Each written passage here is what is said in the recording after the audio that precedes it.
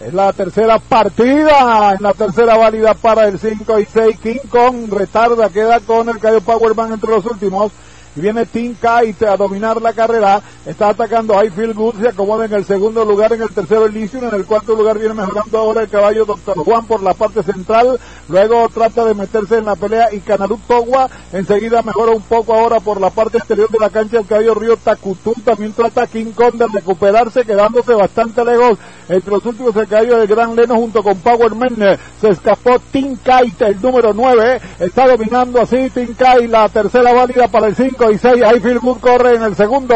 Elysium viene para el tercero. En el cuarto lugar, King Kong, que comienza a avanzar con fuerzas. King Kong por la parte exterior, ya pasando al tercero cuando King Tai trata de abrirse, que es Kai cuando vienen a la última curva. Están entrando en la recta final. Feel Good viene por dentro y pasa ya a dominar.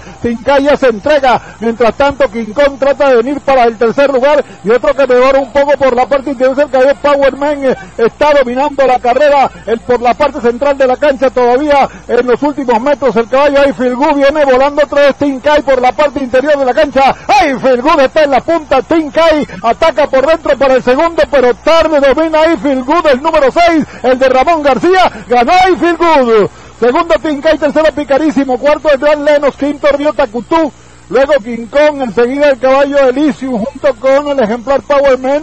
Detrás de este Doctor Juan junto con Icanaru Towa y último Sentinel Pipe.